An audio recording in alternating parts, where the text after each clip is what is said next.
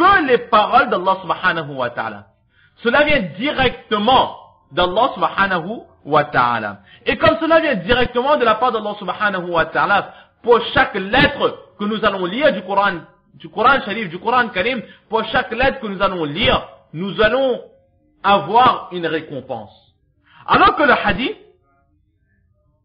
certes il vient de la part d'Allah subhanahu wa ta'ala, mais il a été dit par la langue du prophète sallallahu alayhi wa sallam. C'est-à-dire que le sens, il vient du prophète, il vient d'Allah subhanahu wa ta'ala. Et ensuite, le prophète sallallahu alayhi wa sallam, il a retranscrit le sens qu'Allah subhanahu wa ta'ala lui a donné par l'intermédiaire des révélations, ce même sens, le prophète sallallahu alayhi wa sallam, il a retranscrit en ses propres mots.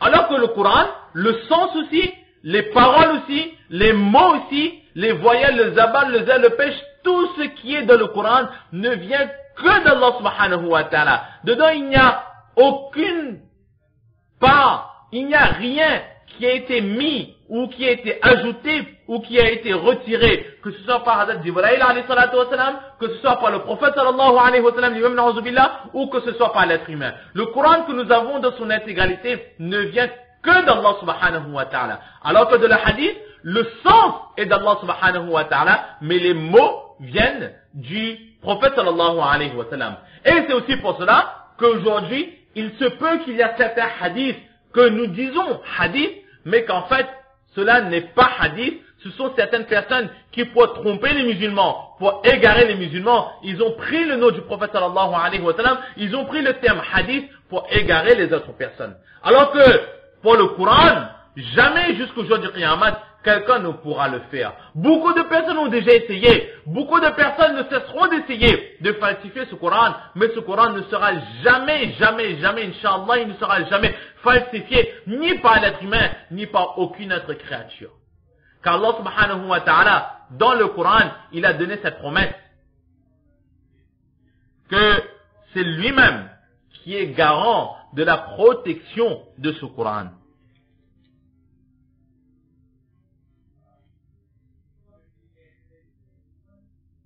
Donc nous voyons que ce hadith, ce n'est rien d'autre que la parole d'Allah subhanahu wa ta'ala si on veut, car c'est le sens. Allah subhanahu wa ta'ala, il a dit au prophète sallallahu alayhi wa sallam ce qu'il fallait dire, et le prophète d'Allah, il a retranscrit en ces mots. Aussi dans le Coran, il dit, يؤتي الحكمة من يشاء ومن يؤتى الحكمة فقد أوتي خيرا كثيرا. Qu'Allah subhanahu wa ta'ala, il accorde la sagesse à qui il veut. Et la personne à qui a été donnée la sagesse, alors très certainement cette personne a eu le meilleur des trésors. Et à propos de ce ayah, Imam Shafi'i rahmatullah ainsi que Qari Pani Pati rahmatullah ces deux savants de l'islam, ils disent que la sagesse qui est mentionnée dans ce Coran, ce n'est rien d'autre que les hadiths du saint prophète sallallahu alayhi wa sallam. Donc si on remet le ayah de son contexte, que Allah subhanahu wa ta'ala, il donne l'enseignement du hadith et la chance de mettre en pratique le hadith à qui il veut. Et la personne à qui sera été donné le hadith, la personne qui aura mémorisé et aura eu cette chance de mettre en pratique le hadith, alors à cette personne aura été donné le meilleur des trésors. Et le meilleur des trésors, Qu'est-ce que cela sera si ce n'est que la réussite ici-bas, la réussite dans l'au-delà, la proximité d'Allah subhanahu wa ta'ala et l'amour du prophète sallallahu alayhi wa sallam pour cette personne. Donc Allah subhanahu wa ta'ala nous accorde à nous tous cet amour, cette compréhension des hadiths, nous donne tous la chance de remettre, de refaire vivre ces hadiths, cette sunna du prophète sallallahu alayhi wa sallam. Hazrat Mawla Zakaria rahmatullah alayhi qu'est-ce qu'il dit? Que même si dans la lecture des hadiths ou en mettant en pratique les hadiths, il n'y aurait eu aucune récompense,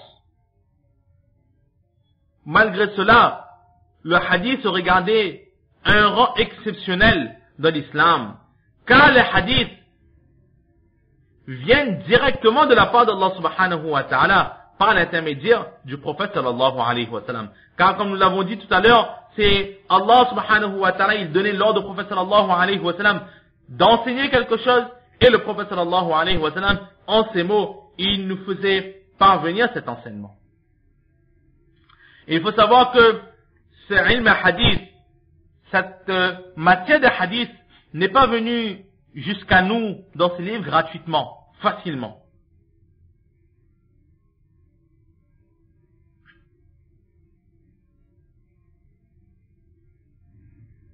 Car il dit, l'histoire d'un muhadith, Hadith Abdullah ibn Mubarak, rahmatullah alayh, qui était un très grand muhadith, à son époque, il n'y avait pas encore tous les livres que nous avons aujourd'hui, tous ces recueils de hadith. Il est dit que là où il habitait, en Irak, si je ne m'abuse, il n'habitait pas dans la péninsule arabe, donc il habitait dans un pays arabe. Il avait entendu à propos d'un Médinois quelqu'un donc qui habitait Madina Munawwara, il avait entendu à propos de cette personne qu'il connaissait un hadith du prophète sallallahu alayhi wa sallam. Hazrat Abdullah ibn lorsqu'il a appris cela, assoiffé de hadith qu'il était, il a entrepris un très long périple. Il a quitté sa ville, son pays, pour aller en direction de Madina Munawwara, à la rencontre de cette personne. Arrivé à Madina Munawwara, il a recherché cette personne. Lorsqu'il a trouvé cette personne, heureux qu'il était, il est parti voir cette personne et a dit que, oh un tel, j'ai entendu que tu connais tel hadith du prophète sallallahu alayhi wa sallam. Alors cette personne a dit, très certainement, alhamdulillah, je connais ce hadith, mais tu viens de très loin, laisse-moi t'offrir quelque chose à manger, quelque chose à boire. Alors Abdullah Mubarak a dit que non, je ne suis pas venu ici ni pour manger ni pour boire. Le seul but de mon voyage, je suis venu ici simplement pour entendre une parole qui nous vient du prophète sallallahu alayhi wa sallam. Et je ne suis venu qu'écouter cela, enseigne-moi ce hadith, et je retourne directement chez moi. Nous voyons là l'amour que ces compagnons, que ces personnes, que ces savants de l'islam avaient pour apprendre ces hadiths. Ah, malgré ce long périple, fatigué qu'il était arrivé à Madina, il a refusé de manger et de boire. Son seul but, c'était apprendre ce hadith. Il a appris ce hadith, il a écouté, mémorisé, et il est retourné. Le seul but, c'était le hadith. Et là, c'est simplement une anecdote, énormément de récits que nous, pouvons trouver dans les recueils où les savants de l'islam, ils ont fait de très très longs périples, de très longs voyages, parfois pour entendre juste un seul hadith. Et très souvent, arriver devant cette personne, dire que voilà, j'ai entendu que je connais tel hadith du prophète sallallahu alayhi wa sallam. Parfois, il est aussi arrivé que cette personne disait que non, malheureusement, beaucoup de personnes disent que je connais un hadith, mais malheureusement, ce n'est pas moi qui connais ce hadith, c'est une autre personne. Alors, va voir telle personne si tu veux, mais moi, je ne connais pas ce hadith. Donc, parfois, il faisait des très très longs voyages pour apprendre un hadith, mais arrivé devant le professeur, ce professeur qui disait que je ne connais pas ce hadith, va voir une autre personne. Donc, de très longs périples pour ensuite se rendre compte que la personne qu'il recherchait n'était pas au courant, n'avait pas connaissance de ce hadith. Ou parfois, arrivé devant, dans la ville, on pouvait aussi apprendre que la personne qui connaissait ce hadith n'était plus de ce monde. Donc parfois, ces savants, ils ont fait énormément de très très longs voyages, juste pour rassembler les hadiths, les paroles, les actions, la vie du prophète sallallahu alayhi wa sallam. Et c'est par leurs efforts, c'est les fruits de leurs efforts qu'aujourd'hui nous avons devant nous ces recueils de hadiths, que ce soit le Bukhari Sharif, le Muslim Sharif, Ibn Majah Sharif, Tirmidhi Sharif, Abu Daoud Sharif, ou bien même notre livre, le Mishkat al-Masabih Sharif. Donc ces livres, cette connaissance, ces hadiths ne sont pas venus jusqu'à nous gratuitement, mais c'est vraiment avec beaucoup de difficultés. Imam Bukhari, rahmatullah il a fait, parfois il faisait des voyages, des très longs voyages, il quittait son pays de Bukhara pour aller en Irak. À l'époque, il n'y avait pas d'avion, il n'y avait pas cette facilité dans les voyages, mais c'était de très longs périples, parfois en bateau, parfois à dos d'animal, juste pour apprendre un hadith. Et c'est par leurs efforts qu'aujourd'hui nous avons devant nous ce livre de l'imam Bukhari ce Bukhari Sharif, qui parfois juste pour écouter un hadith, il a quitté son pays de Bukhara, qui se trouve à proximité de la Russie, pour aller en Irak. Donc nous voyons, là, par ces quelques mots, nous avons compris ce que c'était qu'un hadith. les récompenses réservées pour la personne qui lit, apprend et pratique le hadith.